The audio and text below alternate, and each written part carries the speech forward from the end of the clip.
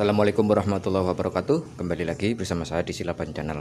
Baik Bro, hari ini saya kedatangan motor Revovit Mengalami suatu kendala Di mana untuk motor ini habis melakukan penggantian baterai. Jadi posisi baterai sudah baru Kang Bro. Nah untuk kendalanya yaitu untuk bagian lampu sen atau listing Tidak menyala Kang Bro. Kira-kira penyebabnya apa atau kerusakannya di mana kita cek satu persatu ya dari beberapa komponen yang berkaitan dengan lampu sen atau lampu listing. Pertama nah ini posisi kan untuk motor e, untuk body-body masih terpasang semua ya Kang Bro. E, untuk pengecekan masalah lampu sen itu tidak nyala. E, kemungkinan kerusakan itu bisa saja terjadi dari bohlam atau lampunya yang putus itu bisa saja Kang Bro. Kemudian bagian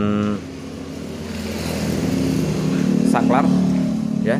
Bagian saklarnya yang mengalami kerusakan juga bisa. Tidak terkoneksi. Kemudian komponen berikutnya yaitu ada flasher Kang Bro. Di mana flasher itu berfungsi untuk uh, supaya lampu sen saat nanti dinyalakan dia bisa berkedip Kang Bro. Nah itu gunanya dari uh, flasher Nah sekarang kita cek dari yang termudahnya saja dulu Kang Bro. Kalau misal kita mau ngecek bohlam ini kalau dilihat secara kasar mata belum pada putus ya. Akan tetapi kalau misal kita akan mengecek bohlam harus melakukan pembongkaran bagian patok ini. Ini e, masih ada yang hal termudah lagi Kang Bro. Yaitu kita bongkar bagian saklarnya. Kita cek dari saklarnya. Karena di sini saya rasa untuk saklarnya juga seperti ada kelainan ya jadi posisi untuk ditekan ke kanan itu tidak kayak tidak connect gitu. Dari pencetannya itu kayak terasa. Jadi ini langkah termudahnya ya kita bongkar untuk bagian saklarnya dulu. Baik Kang Bro untuk kondisi awal saya tunjukkan ya. Ini saya kunci kontak on. Lampu netral sudah menyala klakson juga menyala. Dan ini kebetulan untuk lampu utama juga sudah di langsungkan menggunakan aki ya. Nah.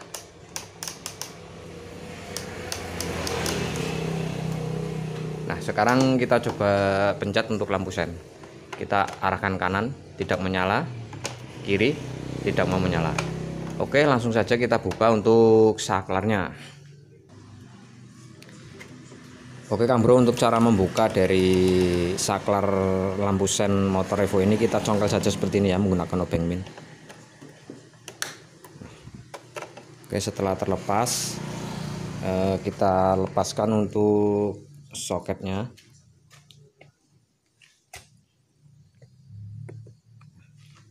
Ini kita lepaskan bro.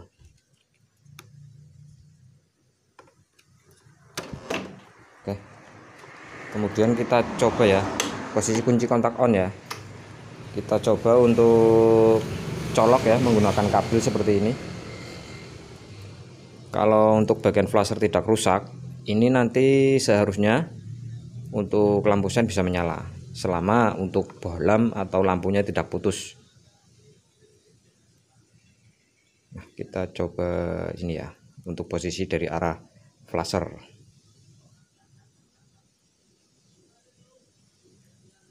sebentar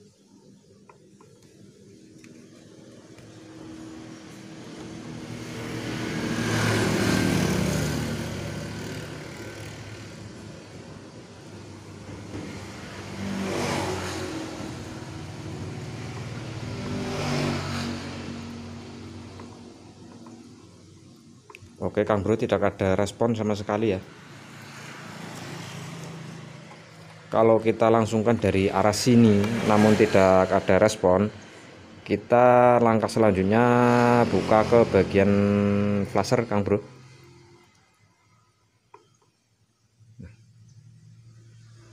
Ada respon.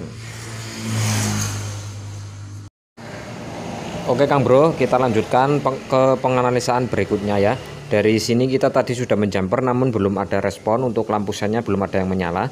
Nah sumber tegangan yang berada di saklar ini berasal dari flasher Kang Bro.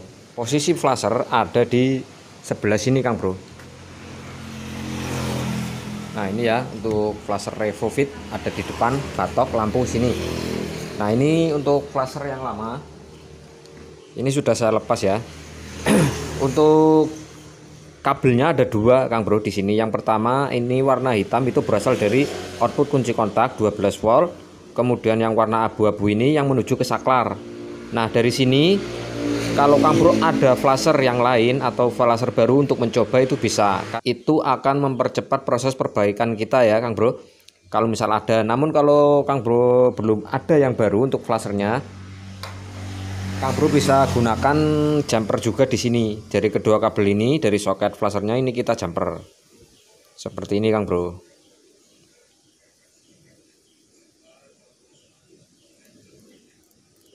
Oke, kita lakukan penjamperan. Kemudian kita kembali lagi ke saklar Kang Bro.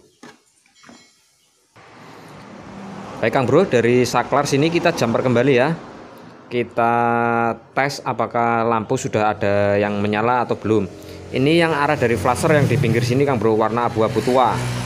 Nah kemudian yang di tengah ini ada warna abu-abu tapi agak cerah kemudian ada warna oranye. Nah kita coba kita masukkan dari arah flasher sini. Oke terus kita masukkan ke salah satu kabel yang lain oranye atau abu-abu cerah. Misalkan ini saya masukkan ke yang warna oranye Nah, sesudah kita jumper seperti ini, kita nyalakan untuk kunci kontak. Kita lihat ya untuk lampunya ada yang nyala atau belum.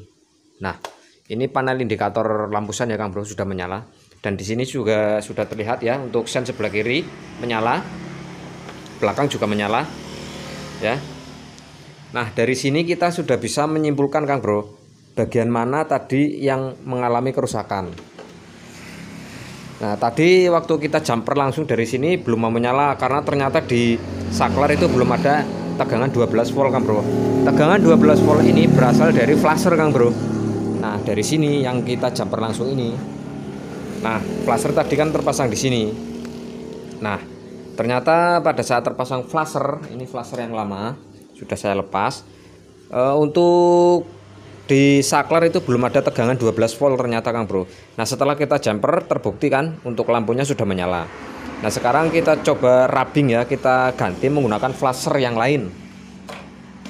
Atau kita gunakan flasher yang baru juga bisa. Nah di sini ada terminal B terminal L. Yang B itu berarti terpasang dari output kunci kontak Kang Bro 12 volt soketnya ini kan sudah pasti pas lah kalau kita pasang.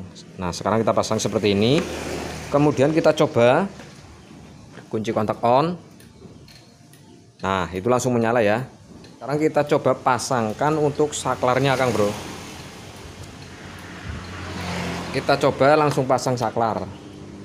Apakah saklar dalam kondisi aman atau juga mengalami kerusakan?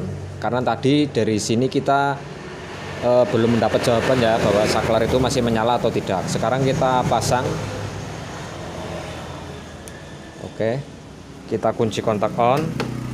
Kemudian kita coba tekan ke arah kanan coba Kang Bro. Nah, ternyata menyala Kang Bro. Berarti untuk posisi saklar itu aman. Nah, kesimpulannya Kang Bro, untuk motor ini lampu sen atau lampu listingnya tidak menyala itu berarti dari flashernya yang rusak Kang Bro. Nah, di sini kita sudah melakukan penggantian ya. Untuk cara penganalisaan seperti yang sudah saya eh, peragakan tadi Kang Bro.